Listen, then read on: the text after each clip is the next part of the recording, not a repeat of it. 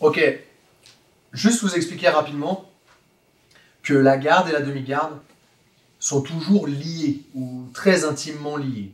D'accord? À partir du moment qu'est-ce que, déjà, qu'est-ce que la garde? La garde, c'est quand je suis face à lui et face à ses jambes. Ok? Je peux être, encore une fois, à genoux, un genou levé ou être debout. À partir du moment où je suis face à ses jambes, complètement face à lui, je suis dans sa garde. Et en vrai, dès que je vais commencer à prendre cet angle,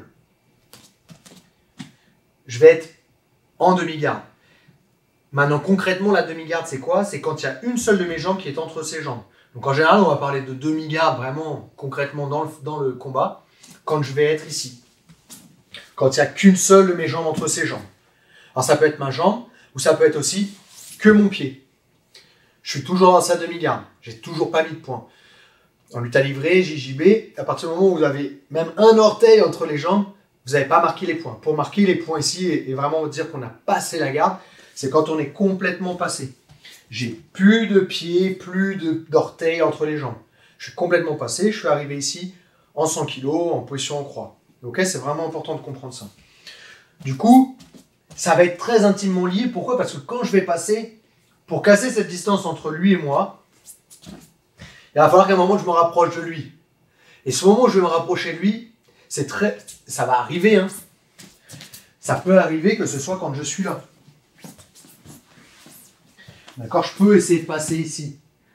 Mais c'est toujours plus ou moins une demi-garde.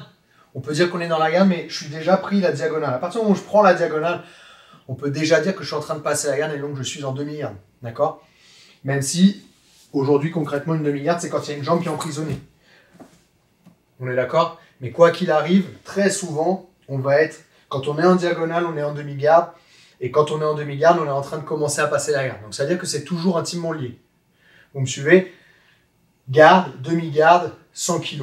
C'est important. Et souvent, moi, ce que je peux vous recommander quand vous avez quelqu'un qui est embêtant en dessous, qui a une garde difficile à passer, qui bouge beaucoup, essayez de le fixer en demi-garde. Ça peut être vraiment un bon repère et un, bon point d'ancrage pour la suite de votre technique.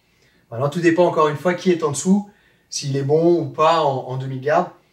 Ce que vous devez essayer de faire, c'est de voir, d'étudier déjà votre partenaire, votre adversaire, et voir déjà s'il est bon ou pas. Si ça va, allez chercher une demi-garde.